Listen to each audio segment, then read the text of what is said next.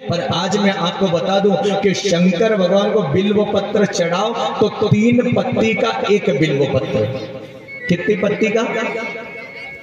तीन पत्ती का एक बिल्व पत्र शंकर भगवान के माथे पे रखना चाहिए और वो भी माँ बहन ध्यान रख लेना। कभी भी बिल्व पत्र को सीधा नहीं रखना चाहिए बिल्व पत्र को सदैव उल्टा रखना चाहिए। कैसा रखना चाहिए? उल्टा। और एक बात और भी। बिल्व पत्र चढ़ाते समय एक बात और ध्यान रखना चाहिए कि बिल्व पत्र की डाली के अंदर गठान तो नहीं है। और बिल पत्री की डाली में अगर गठान हो तो गठान तोड़ करके शंकर भगवान के यहाँ पे चढ़ा देना। और जैसे ही शंकर भगवान के यहाँ पे बिल पत्र चढ़ाओगे तो क्या पुण्य मिलेगा? शंकर भगवान ने कहा कि जो मेरे को तीन पत्ता चढ़ाए तो शंकर भगवान ने कहा कि एक जन्म नहीं, दो जन्म नहीं, तीन जन्म का भी पाप होगा और तीन पत्ती का एक बिल पत्र चढ़ा दे। तो शंकर भगवान ने कहा कि तीन जन्म का पाप नष्ट करने में देर नहीं कितने जन्म का? तीन जन्म का। तीन जन्म तक तुमने पाप भी किया होगा। सच्चे मन से भोलेनाथ भगवान के दरबार में आ जाना, भोलेनाथ भगवान के पर चढ़ा देना और शंकर भगवान को अर्पण कर देना, जल चढ़ा देना। शंकर भगवान ने कहा कि एक जन्म का नहीं, दो जन्म का नहीं, तीन जन्म का भी पाप होगा। तो कोई दुनिया तेरे को पागल कहे, कोई दुनिया तेरे को पापी कहे, कोई दुनिया तेरे को अभागल कहे, पर मेरे को बिल्व पत्र चढ़ा दे तो तेरी ज़िंदगी संवारने में भी देर नहीं करेगी पर एक बात और ध्यान रखना मेरी माँ। कभी भी बिल्व पत्र सोमवार के रोज मत तोड़ना कभी भी। लोगों को मैंने देखा कि सबसे ज़्यादा सोमवार के दिन तोड़ते हैं। और तोड़ते भी कैसे? मेरे को बड़ा दुख होता है। एक वो एक डंडा लेंगे, उसको दराता बांधेंगे, डाली काटते जाएँगे। कुल्हाड़ी लेंगे, कुल्हाड़ी से उसकी डाली काटेंगे। और सुन लेना, शंकर भगवान ने कहा कि जो मेरे बिल्व पत्र का अपमान करता है, जो मेरे बिल्व पत्र की अगर ज्ञान नहीं लेता है, जो मेरे बिल्व पत्र की अवज्ञा करता है, शंकर भगवान ने कहा कि एक बिल पत्र नहीं, वो हज़ार हज़ार बिल्व पत्र भी चढ़ा दे तो शंकर प्रसन्न होने वाला नहीं है। और ये कोटेश्वर का प्रांगण है। भोलेनाथ भगवान का प्रांगण है और सभी माता बहनों को एक बार धन्यवाद दूँगा।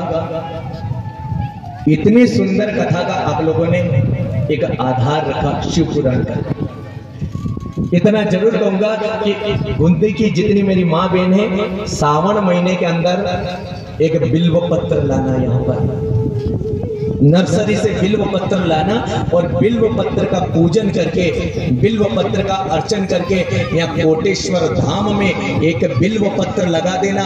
और शंकर भगवान ने कहा कि जो मेरे बिल्व पत्र को छोटे से लेकर के बड़ा करता, सुन लेना, ध्यान से।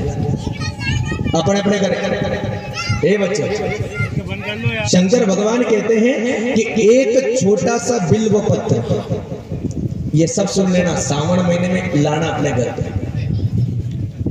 छोटा सा बिल्व पत्र लेकर के जो जितना बड़ा करे। और एक दिन इतना बड़ा हो जाए तो शंकर भगवान ने आशीर्वाद दिया कि जो छोटे से बिल्व पत्र को लाकर बड़ा पेड़ बना दे तो शंकर भगवान ने कहा कि जो सौ मंदिर शंकर के बनाए और उसका पुण्य मिलता है, अगर एक बिल्व पत्र बो दे, शंकर भगवान ने कहा कि सौ शंकर जी के मंदिर बनाने का पुण्य में उसे देने में देर नहीं करूँगा। कहाँ बनाओगे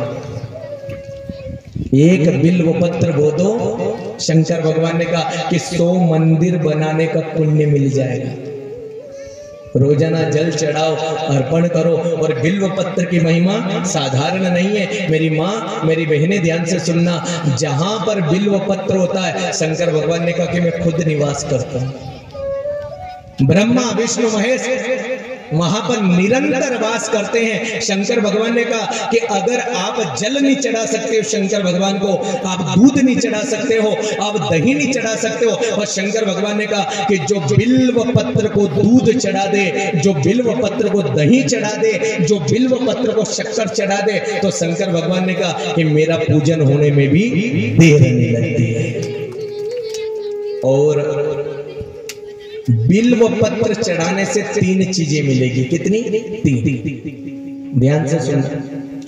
जो माँ, जो बहन, जो शिव भक्त, शंकर भगवान के ऊपर जो बिल्व पत्र अर्पण करता है तो शंकर भगवान ने कहा कि सबसे पहली चीज़ मैं उसे देता हूँ, उस चीज़ का नाम है शांति। जो मेरे को बिल्व पत्र चढ़ाए, मैं उसको शांति देने में भी देर नहीं करता। दूसरा, जो मेरे को बिल्व पत्र चढ़ाए, शंकर भगवान ने कहा कि मैं उसे दूसरी चीज़ देता हूँ और उस दूसरे का नाम, चीज़ का नाम है संपत्ति। कभी भी पैसा की कमी नहीं आई रोज़ाना बिल्व पत्र चढ़ाओ। रोज़ाना शंकर भगवान का आराधन करो। शंकर भगवान ने कहा कि कैसे न कैसे कैसे न कैसे के व्यवस्था करूँगा और संपत्ति देने में भी देर नहीं करूँगा। और तीसरी चीज़, जो मेरे